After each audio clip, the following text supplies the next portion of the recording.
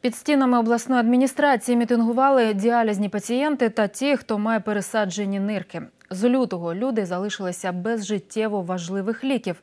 Раніше дорогими медикаментами їх регулярно забезпечувала держава. Цього року виникли проблеми.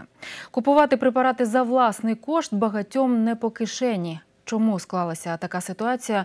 У людей різні версії, та головне кажуть, жодної обнадійливої відповіді з боку можновладців. Шукала її і Юлія Крива.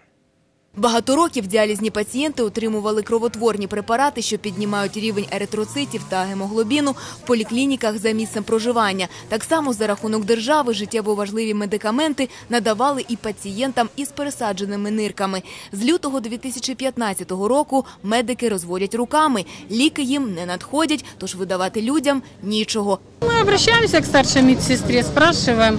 Э, Нет, пока нет, пока нет, нет финансирования.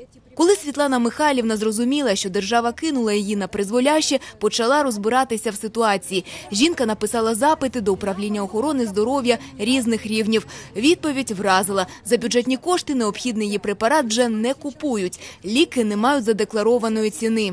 Почему руководство Департамента здравоохранения, зная о том, что такой препарат идет на э, перерегистрацию, не сообщает пациентам, либо же э, самим врачам поликлиник, больниц, что э, пациенты должны пере- переписать, у нас такие справочки специальные даются на это, переписать эти справки на другие препараты. То есть врачи обязаны перевести на нас более либо дешевые, либо подобрать каждому пациенту этот препарат.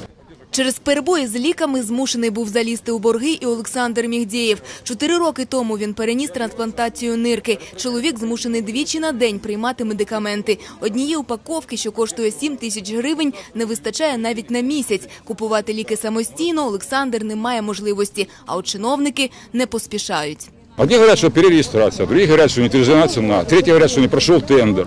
А он не прошел? Тендер надо заранее проводить, это жизнь людей. Відповісти на питання, коли ж саме у медзакладах знову з'являться життєво необхідні людям медикаменти, ніхто з обласного департаменту охорони здоров'я не наважився. Саме це найбільше їх і лякає. Чиновники вивчають ситуацію, але безрезультатно. Втішний коментар нам вдалося отримати хіба що від заступника губернатора Олега Кужмана. Той запевнив, кошти є і назвав термін, коли ситуацію таки владнають.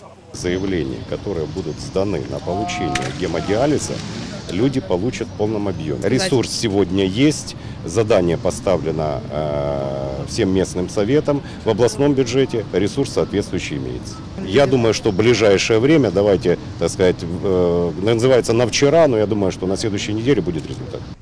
Так оптимістично налаштований відносно ситуації із закупівлею ліків, схоже, хіба що один чиновник. Чи справдиться його прогноз, побачимо згодом. Після місяців зволікань та поневірянь тиждень для діалізних пацієнтів – це вже не строк.